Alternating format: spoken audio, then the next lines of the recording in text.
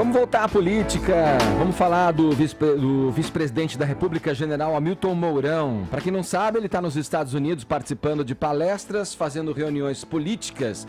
Ontem, por exemplo, é, ele participou de palestras e reuniões. É, o Mourão encontrou-se aí com o vice-presidente Mike Pence. Mas o que eu quero destacar aqui do Morning Show é uma resposta dele, a um estudante de Harvard, que viralizou ontem. Vamos conferir a pergunta e a resposta aí. O palco do episódio foi, como a gente disse ontem aqui, o evento Brasil Conference. Solta aí, o Murilo, por favor. É, a gente tem agora um aluno de PhD, o Fernando Bizarro, é, que é aluno de PhD de Ciência Política aqui em Harvard, da Harvard Kennedy School, que perguntará um pouco sobre o, o desempenho dos militares na política e essas mudanças que vamos observando nos últimos anos. Obrigado. Bom dia, vice-presidente. Um, a percepção de que governar não era tarefa para as Forças Armadas foi uma das, das razões pelas quais os militares devolveram o poder para os civis em 1985. A historiografia da ditadura militar, por exemplo, demonstra que essa percepção motivou líderes como o general Geisel a iniciar a transição de volta para a democracia para preservar a unidade e a legitimidade das Forças Armadas enquanto instituições do Estado brasileiro. 35 anos depois, o senhor é um general, é vice-presidente, generais como ministros, e as Forças Armadas parecem estar fortemente vinculadas a esse governo. Por que, que as coisas seriam diferentes dessa vez? O, por que, uh, o senhor não teme que a Associação das Forças Armadas, que são uma instituição permanente do Estado brasileiro, com um governo que é necessariamente temporário, uh, ela pode corroer a legitimidade e a unidade das forças? Para colocar a pergunta de uma forma diferente, por que, que a lição que o general Geisel aprendeu não se aplica ao senhor?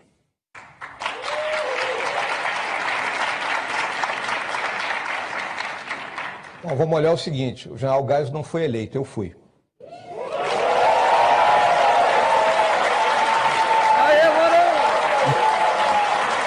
isso aí. Ovacionado, hein? E foi só isso. Ele durou. Ele ficou satisfeito. Olha a cara de satisfeito dele. Ah. Digado, você conhece um pouquinho de judô? Judô, sim. Então, o Mourão, ele deu um, um ipom, um aí em 5 segundos. né? Se fosse videogame, seria um fatality, né? Flawless win. Eu acho que, pô, não deu nem pra esse PHD aí anotar a placa do, do caminhão que tratorou ele. Aliás, qual, qual que é o nome do... É bizarro? Faz sentido. Ó, aqui é o seguinte, são duas possibilidades. Eu vou, não, deixa eu só falar uma coisa. Eu gostei da resposta do Morão. Acho que ele foi muito. Eh, eh, teve uma presença de espírito grande ali. Sim. Mas a pergunta em si, se você, se você colocar a questão, que eu acho que é o que o, o, o cidadão queria tirar dele, é que é um, relacionada ao fato histórico que ele relaciona lá, que ele, que ele, que ele faz a, a exposição do Geisel, né? A questão do, do, do Ernesto Geisel, né? De dizer que as Forças Armadas não queriam governar, enfim.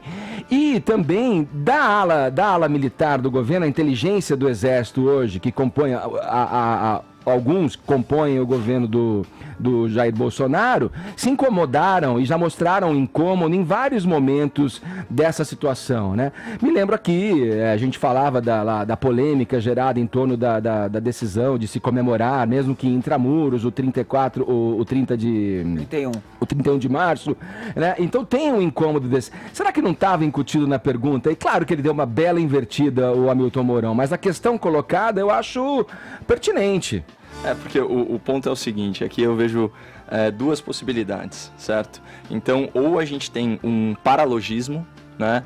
E aí você pegar para do, no, no, no, no, grego é desvio, né? Elogismo é raciocínio. Então, desvio de raciocínio é um raciocínio falso que se estabelece involuntariamente, aí pensando aí nas boas intenções do aluno de PhD, no bizarro, ou você tem um sofisma mesmo, né? Uma simulação de lógica para produzir a ilusão de verdade, ou seja, tem a intenção de ludibriar. E por que, que eu falo isso? Porque a premissa, a base do raciocínio, onde ele se assenta, está completamente equivocado. O ponto de partida da pergunta é muito equivocado.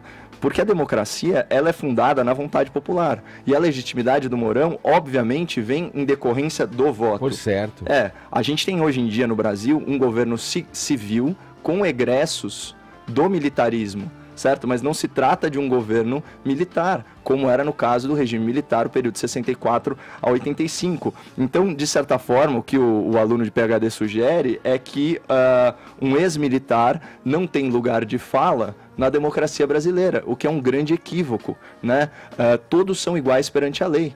Uhum. Então esse é outro, outro fundamento basilar aí do Estado Democrático de Direito e por isso que esse pão foi delicioso aí para quem aprecia a boa democracia.